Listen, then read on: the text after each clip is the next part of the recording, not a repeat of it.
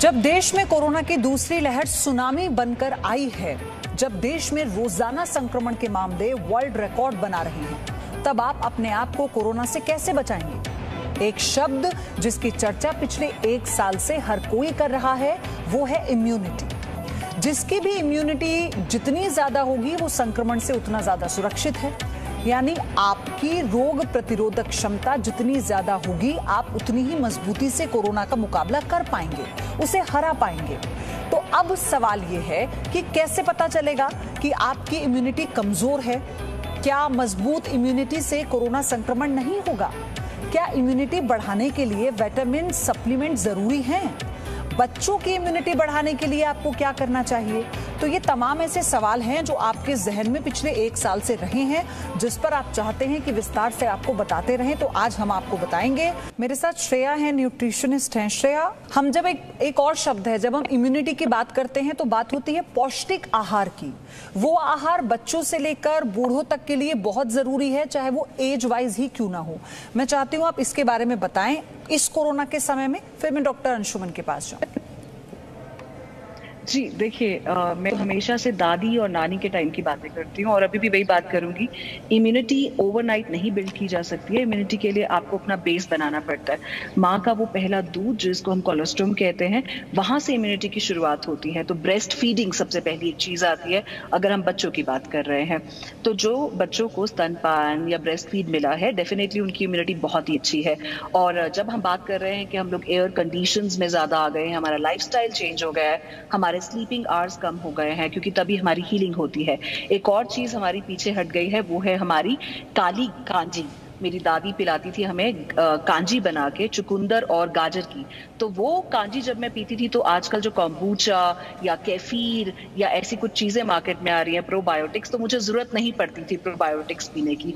क्योंकि वो प्रोबायोटिक वो कांजी या फिर आजकल जो कैफीर या कॉम्बूचा मिलता है या फिर जो हम दही खाते हैं, छाछ या लस्सी तो हमारे वो गट को हेल्दी कर देती है प्रोबायोटिक्स देती है और अल्टीमेटली प्रोबायोटिक आपको बीमारी से लड़ने की क्षमता को बढ़ाने में हेल्प करता है। तो आपका जितना ट्रेडिशनल वे था खाने का केचप्स को अवॉइड करके आप अचार, चटनी, जो कि हम लोग घर में बनाते हैं नॉर्मल तेल या नमक यूज़ करके अचार, चटनी का सेवन करें। हल्दी की चटनी बनाएँ, टमाटर की चटनी, जो आपके सीज़न में आम है, आंवला है उसकी चटनी जैम मुरब्बा बना के आप अपने बच्चों को सर्व करें। खुद भी जो आप मिलेट्स खाते हैं, चाहे वो नाचनी हो, ज्वार, बाजरा, रागी, ऐसे आप मिलेट्स और ऐसी सीजनल सीरियल्स लेकर आए, गेहूँ को थोड़ा कम इस्तेमाल करें बेकरी के आइटम थोड़ा बंद कर दीजिए, चीनी को थोड़ा कम यूज़ करें तो और सनलाइट ज़्यादा से ज़्यादा ले ताकि आपको वाइटामिन डी मिले। और जो मैंने आपको अचार, चटनी कांची ये सब चीज़ों के बारे में बताया है, वो आपको भरपूर वाइटामिन चाहे वो बी वाइटामिन हो या फिर मैग्नीशियम आयन फॉस्फरस फोलेट ये सब आपको देता है, आपका डाइजेशन अच्छा होता है इम्यूनिटी अच्छी होती है। और जो बच्चे या जिन भी आदमी के अंदर हीमोग्लोबिन की कमी होती है, उनकी इम्यूनिटी डेफिनेटली कम रहती है। तो इस टाइम पे आप अपना सलाद ग्रीन जूस ये डाइट में ज़रूर लें।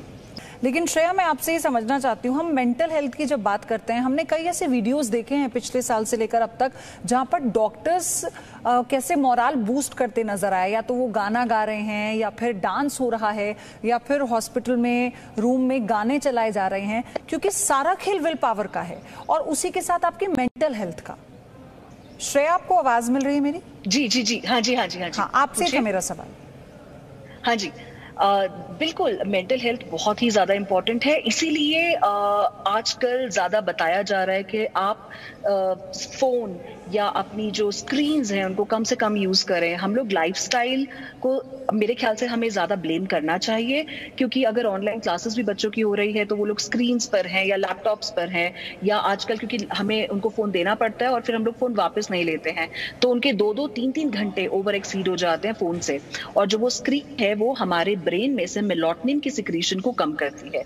जब मिलोटनिन की सिक्रीशन कम होती है तो कॉर्टिसोल स्टीरोइड हार्मोन एक बनता है जो एक स्ट्रेस हार्मोन है। और स्ट्रेस डिप्रेशन हम एक रीजन है वज़न बढ़ने का और ओबेसिटी के साथ तो इम्यूनिटी डेफिनेटली कम होती है। और ओबेसिटी हम्म। के साथ फिर आपकी डायबिटीज़ भी आती है। और अगर डायबिटीज़ आता है हार्मोनल इम्बैलेंस आता है तो डेफिनेटली आपकी इम्यूनिटी इतनी ज़्यादा खराब हो जाती है कि आपको किसी भी वायरस या बैक्टीरिया मटेरियल सबसे ज़्यादा आपको, आप वलनरेबल हो जाते हैं बीमारियों के लिए। तो मेंटल हेल्थ बहुत इंपॉर्टेंट है और मेंटल हेल्थ की जहाँ हम बात करते हैं, वहाँ पे आजकल मोस्टली लोग अपने एक्ने के लिए या स्किन के लिए, या फिर उनको स्किन एलर्जी है, या फिर माइग्रेन्स हो जाते हैं या बच्चे लेट उठते हैं क्योंकि वो रात को लेट सोते हैं तो धूप में नहीं जाते इन्वायरमेंट में नहीं जाते और जब धूप नहीं मिलती है तो जैसे भी डॉक्टर ने बताया कि वाइटामिन डी की इतनी डेफिशिएंसी हो जाती है और वाइटामिन डी एक अंडर एक हमारा न्यूट्रिएंट है। वाइटामिन डी इतना छोटा सा होने के बावजूद बहुत बड़ा रोल प्ले करता है, चाहे वो बच्चों की बोन्स हो ग्रोथ हो टीथ हो हेल्थ हो या फिर हमारी इम्यूनिटी ही क्यों ना हो। सो डेफिनेटली मेंटल हेल्थ जितनी ज़्यादा रहेगी मेलोटनिन उतना ज़्यादा रहेगा डिप्रेशन उतना कम रहेगा। सो मेंटल स्टेट के लिए कुछ ज़्यादा नहीं करना है सिर्फ़ टाइम पे सोना है और धूप में बैठना है। अभी ये बहुत बहुत वैलिड पॉइंट है। ये सारे माता पिता के लिए चिंता का विषय भी है कि बच्चे बाहर नहीं जा पा रहे हैं। उनकी एक्टिविटीज़ ही नहीं हो पा रही हैं। हाइपर एक्टिव बच्चे हैं सुपर एक्टिव बच्चे हैं। तो क्योंकि कोरोना की वजह से लॉकडाउन की वजह से बच्चे सिर्फ़ सिस्टम पर ही बंद कर रह गए हैं। श्रेया लेकिन ऐसे में वो अभी जो ये हालात हैं इसमें कुछ पेरेंट्स नहीं चाहते कि उनके बच्चे बाहर निकले, खेलें, क्योंकि सबके मन में डर है। सब उन्हें सुरक्षा देना चाहते हैं। और ऐसे वो कौन सी एक्टिविटीज़ हैं, आप ये बताइए हमारे दर्शकों को, जिसमें बच्चों को इन्वॉल्व किया जा सकता है फ़िलहाल के लिए? हम्म। बहुत इजी है। अगर मेरे भी बच्चे हैं दो तो छोटा वाला मेरा दो साल का है तो मैं उनको स्किपिंग रोप देती हूँ। स्किपिंग रोप करते हैं और अगर बच्चों को वीडियो गेम्स ही बहुत पसंद है तो आजकल तो वीडियो गेम्स ऐसी भी होती है जिसमें डांस एप्स होते हैं। तो वो लोग उसको देख के डांस करते हैं। सो so, घर पे आप उनको डांसिंग करा सकते हैं जंपिंग स्किपिंग या आप स्लाइड्स करवा सकते हैं। आप स्पून में जो हमारी ट्रेडिशनल गेम होती है लेमन स्पून वाली वो वैसे वाली रेस करा सकते हैं। आप छोटे से ही एरिया में उनको बोरी में डाल के जिसको हम सैक रेस कहते कहते हैं वो आप करा सकते हैं। तो जंपिंग जैक्स आप करा सकते हैं। तो इतनी सारी घर पे भी चीज़ें हो सकती हैं आप स्टेयर्स को अप डाउन करा सकते हैं। डांस सबसे अच्छी एक्टिविटी होती है मेरे ख्याल से। और डांस से ज़्यादा कुछ अच्छा है ही नहीं म्यूज़िक उसमें होता है। आप उनके साथ खुद डांस करिए उनकी भी स्किल्स इंप्रूव होंगी। तो मेरे ख्याल से डांस एक बेस्ट एक तरीका है एक उनको एक्टिव रखने का। नंबर वन और जहाँ आपने बात की थी कि बच्चे बहुत फजी हैं खाना नहीं खाते हैं तो उस टाइम पे हम क्या करें? तो अगर आप चाहें मैं उसका जवाब दे सकती हूँ। बिल्कुल बिल्कुल। अच्छा तो आ, मैं अपने बच्चों को क्या करती हूँ? सूप एक बना के देती हूँ जिसमें बीट रूट यानी कि चुकंदर पालक आंवला टमाटर हम्म। थोड़ी सी दाल और आ, जो भी आपके सीजनल जो भी चीज़ें आपको मिलती हो गाजर उसमें डालकर आप उसको प्रेशर कुक कर दीजिए। उस सूप में आप उनका आटा गूंदिए और आपका ये सारी सब्ज़ियाँ उनके आटे में परोंठी के रूप में चले जाती हैं।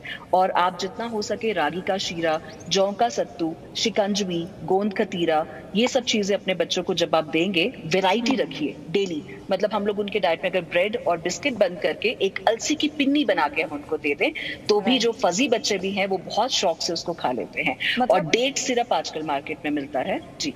बच्चों को भी चीट कैसे करना है पेरेंट्स को वो उन्हें सीखना होगा कि उन्हें पता भी ना चले और सारे न्यूट्रिशंस विटामिन्स वो आराम से खा ले। इस तरह से हम नई नई डिशेस ट्राई करके बच्चों को दे सकते हैं।